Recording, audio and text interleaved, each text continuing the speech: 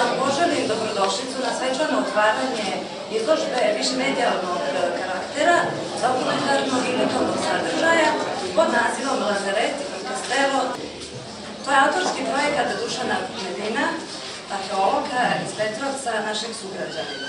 Dragi posjetioci, dame i gospodo, predstavnici medija, pozdravljam vas i hvala što ste u ovo ljetnje večer došli ovdje da sa nama budete na ovom otvaranju projekta Lazaret i Castello nadahnući motiv. Kao što vam je dakle, i poznato, to su dva stara utvrđenja u Petrovcu iz 15.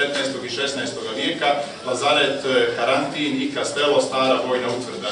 Projekat kojim evociramo sjećanje na dva najstarija, na dva najistaknutija simbola našega grada, sastavljeni, kao što je Miljana rekla, iz izložbe i okruglog stola. Izložba ima četiri segmenta, ja vas o njima neću više zamarati, imate više u katalogu, samo ću ukratko pročitati naziv izložbe.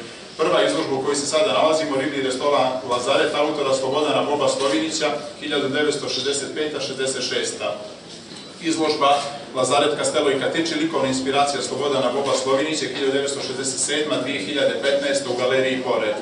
Izložba Bar Castello Zorana Petrovića i Aleksandra Radojevića 67-71 nalazi se na spratu i konačno digitalni prikaz Castello i Lazareta Gorana Pajovića 2015 nalazi se u muzejskoj sobi. Najdublja zahvalnost autorima koji su omogućili da građa njihova bude predstavljena i upotrebljena, digitalizovana i izložena ovom prilikom. Želim i imam obavezu da zahvalim mnogim prijateljima, saradnicima i kolegama koji su uložili napor, nekada i veći nego što je bio moj, da bi se ova ideja i realizovala. Zahvaljujem pokrovitelju projekta javnoj ustanovi muzeji i galerije Budve, posebno direktorici gospođi Biljani Brajović, što nam je omogućeno da u spomen domu Crvena komuna priredimo željeni program.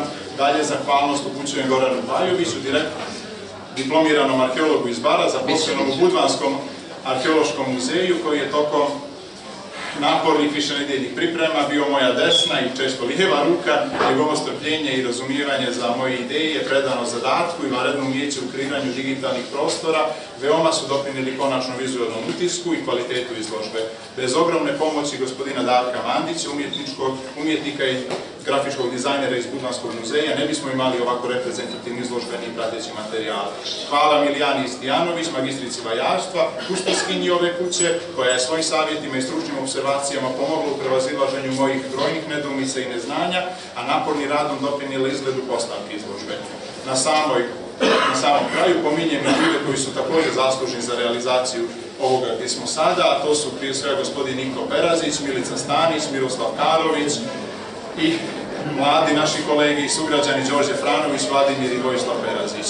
Nadam se da ova započeta priča o Lazaretu i Kastelu, koja je u mom slučaju počela od prošlogodišnjeg stručnog rada, prerasla u ovaj projekat, da će imati dalje svoj život i razvoj i biti nadahnuće i motiv savremenim i budućim stvaralcima da razmišljaju, razgovaraju i stvaraju na ovu temu. Hvala vam na strpljenju, živjeli!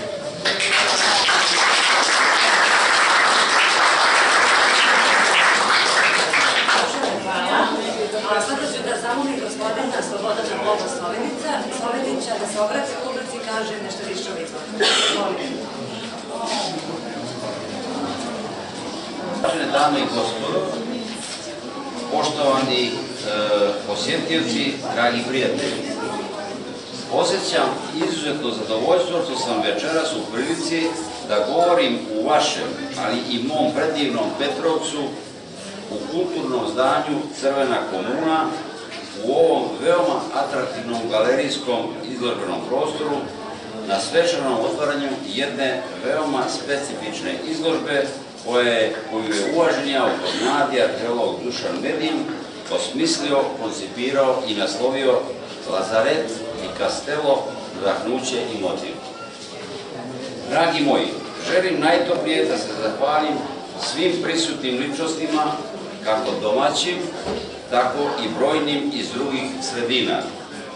Jeste, jeste odvojili dio svog dragocenog vremena da u ovoj vreloj julskoj noći uživate u veoma sadržajnim i po, i po mom dubokom ubjeđenju izuzetno nadahnutim, kreativno-likovnim i arhitektonskim ostvarenjima.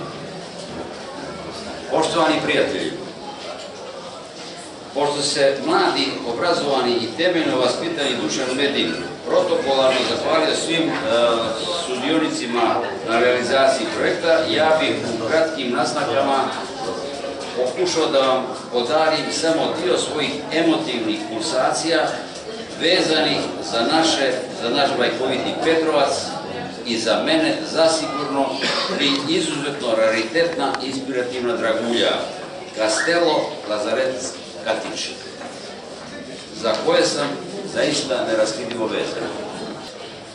Poštovani prijatelji, moj izbor Lazareta kao mikrolokacije da u njemu prostorno kreiram primorski autohtoni riblji restoran kao svoj diplomski rad 65. godine, 1965. godine, apsolutno je promišljeno i ciljano izabrano.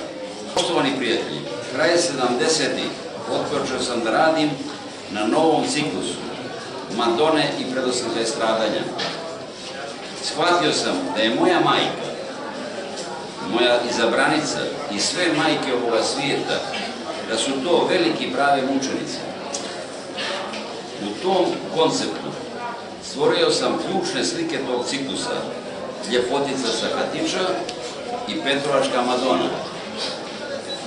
Na izložbi su prezentirane obje, ali je jedna kao copy print verzija jer je u stvari u vlasništvu muzeja Crne Gore. Dragi moji, nakon dramatičnog ciklusa stradanja, u katarstičnom raspoloženju odpočeo sam da radim na mom veoma obimnom ciklusu što znači tijelo. U središtu je ženska figura kao skulpturalna masa koja rotira oko sebe, a u mizansenu je poznati primorski motiv. Stvorio sam 1986. dvije triptikale cijeline, u čijoj pozadini je Lazaret i Castello.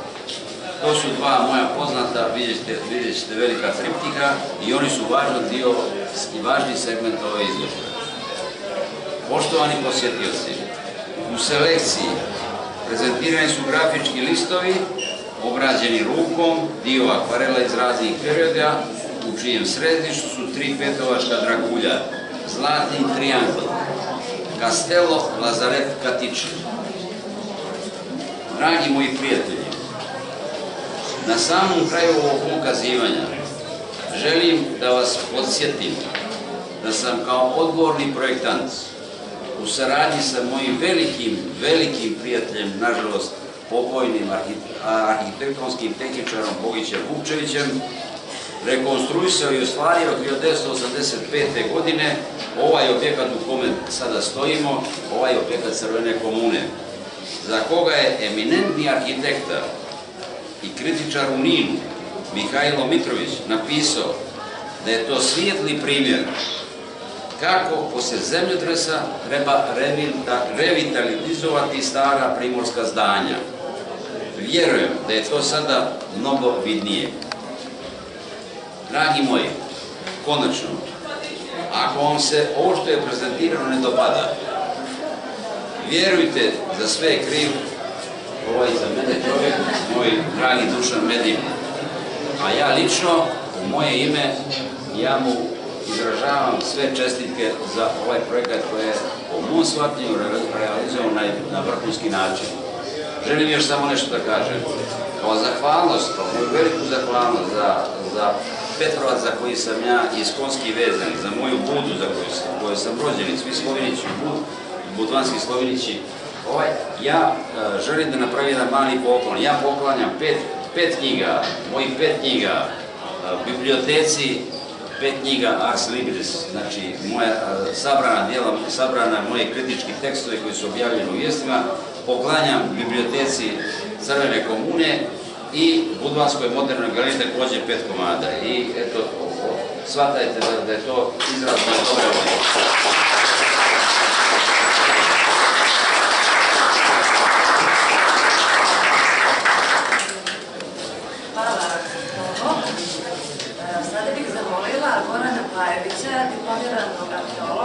i autora e, digitalne izložbe da se obratimo